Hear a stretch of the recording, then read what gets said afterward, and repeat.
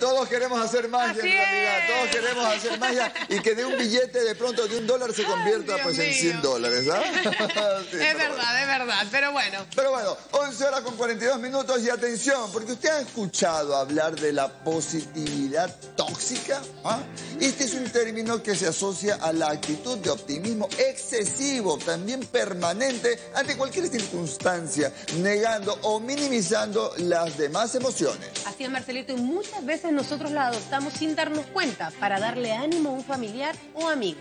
Pero sin embargo, aunque parezca inofensivo, puede convertirse en una trampa y afectar a nuestro bienestar psicológico. Así que veamos esta excelente información.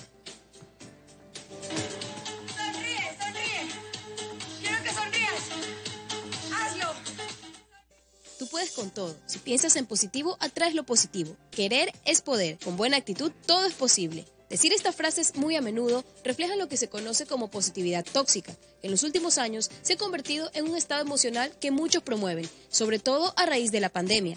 tanto dolor generalizado, tantas pérdidas, nos llevó a, muchos a un estado de profunda depresión.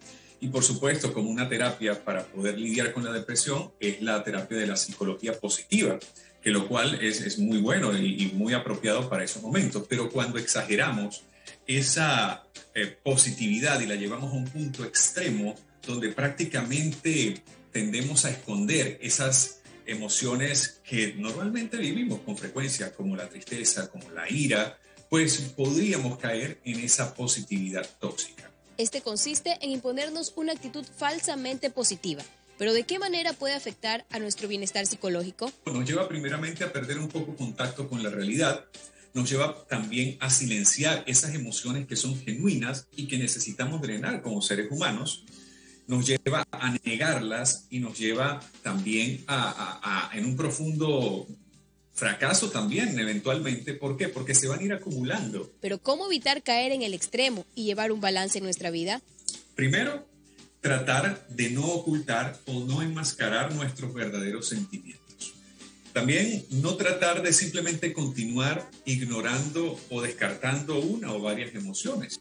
No sentirnos culpables por sentir lo que sentimos. Muchas veces eso nos pasa, ¿no? Si nos sentimos tristes, decir, no me puedo sentir triste hoy, tengo que ser extremadamente feliz y comenzar a sonreír. Y recordemos que la felicidad es un estado genuino y que debe fluir.